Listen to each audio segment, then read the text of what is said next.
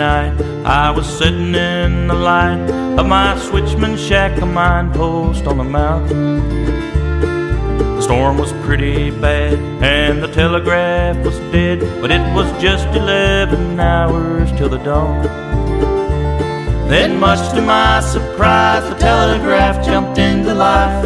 As I read the code, I thought, could this be true? Train was on its way, headed up the mountain grade, but she didn't have no engineer or crew.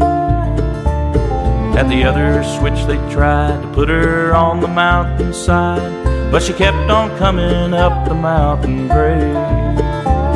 Well, I quickly doused the light to try to see into the night. Maybe I could spot her headlight in the rain.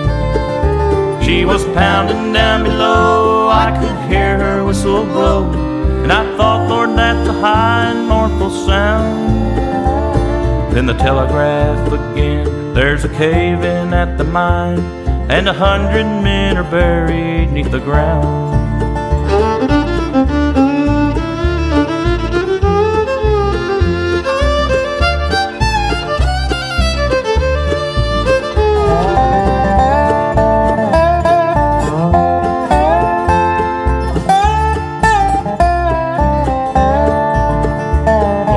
Coming now, I see, around the bend and straight at me, and her boiler's glowing red as coal in hell.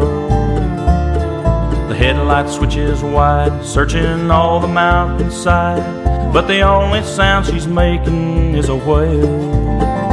Then I recognize the train by the number and the name. It's the miner Silver Ghost 041.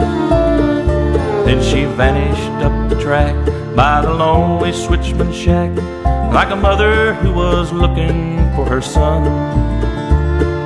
Now I heard a story of how an engine went to glory over 50 years ago on this same line. It was steaming for a cave, and there were men who needed saved, but it missed the curve and trestle near the mine.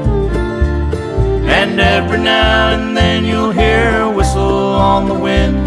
If a mountain slides and many men are lost, it's a high and lonely wail searching up and down the mountain.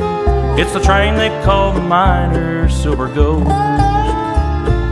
The train they call the miner's silver ghost.